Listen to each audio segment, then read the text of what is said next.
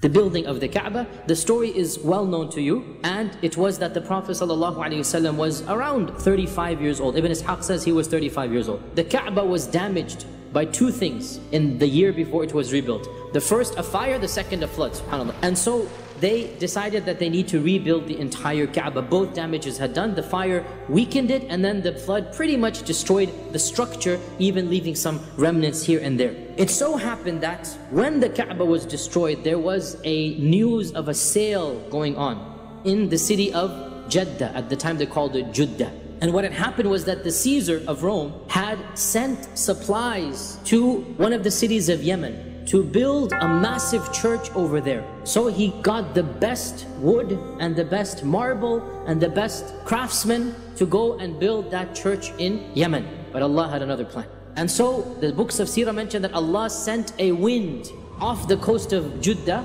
to cause the ship to basically crash and the ship was damaged, but it just made it to Jeddah because Allah has a plan. And so the Quraysh, when they heard about this, they gathered together all their wealth and they went to Jeddah to purchase all of this and to hire the craftsmen as well to come. They're wondering now, the Kaaba is in semi-destroyed state in front of them and they're wondering, should we come and destroy it? This is the house of Allah. They've never destroyed the house of Allah before. I mean, even the thought of it is sacrilegious, right? They don't know what to do. And according to one report of Ibn Ishaq mentions this, that when they were debating what to do, a large snake came out of the well of Zamzam. And it was rumored that there was a snake living in the well of Zamzam. Now this large snake came out, massive snake, and anytime they approached it, hissed at them. And so they wondered, what are they supposed to do? And Allah sent a big bird to pick up the snake and to get rid of it, to throw it behind one of the mountains of Mecca. So they took this as a sign that they should approach the Kaaba. And so they're, each one is nudging the other for, why don't you go first? Why don't you go first? Because they're worried what's going to happen. Until finally Al-Walid ibn al-Mughira finally said, Khalas, I'm going to do it. Hand me the axe. So he took the axe and he marched towards the Kaaba and he started breaking down one of the walls of the Kaaba. Nobody lifted a finger to help. Then the rumor spread why don't we use Al-Walid as the litmus test? If he survives the night, we'll join him the next day. Then the next morning, he woke up fine and healthy, everything's fine. So they said, okay, alhamdulillah. And so Al-Walid put one wall down. And so the next day, alhamdulillah, the entire Quraysh decided now we all have to tear the Kaaba down and then rebuild it. And what they did was, they divided all of the tribes into four groups based on their lineage. The closest tribes together, you get this wall. Another close group, you get this wall. So the Banu Abd Manaf is given the most prestigious, and that's the side of the wall. Why? Because they are the most prestigious. They knew it. Abdul Muttalib was from them. And Abdul Muttalib was he, who he was. So they get the most prestigious. The second most prestigious, the Banu Makhzum. Abu Jahl is from this tribe, right? The Banu Makhzum, they get the wall that is the Rukn Yamani to the Black Stone. The last fourth of the Kaaba. So they get the second most prestigious wall. And then their other tribes, we don't have to mention their names, they get the, the other two walls. Now, you all know what happened. The Banu Abd Manaf and the Banu Makhzum are raising the corner that has the black stone, right? The black stone doesn't belong to either wall, it belongs to both.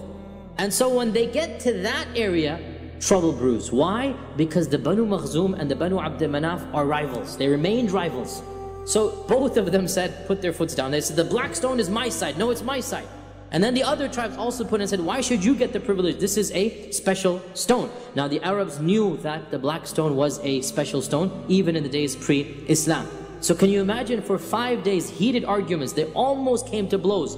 The Banu Makhzum secretly put together a, an agreement with some other sub-tribes that they would fight to death to put the black stone in. They were almost about to reach to blows. On the fifth day, they all came together and Abu Umayyah ibn al-Mughira, he said, there will be no bloodshed. We're not going to fight over this. Let us just give it over to the first person who enters from the door. There was one major door.